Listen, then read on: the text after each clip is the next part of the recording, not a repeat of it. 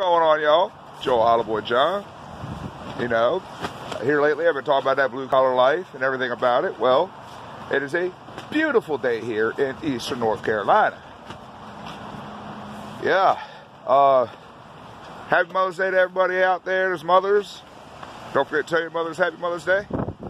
But here you go. Absolutely beautiful day. So I went to Walmart and I got me a canopy and a couple shields. And shout out to Walmart. That's awesome. Thank you for having stuff on stock. Uh, yeah. And I got all the grilling fixings. I got the grill going. Definitely, definitely. Ain't got nothing better to do. It's Mother's Day. Cook her a big old meal. For darn. Yeah.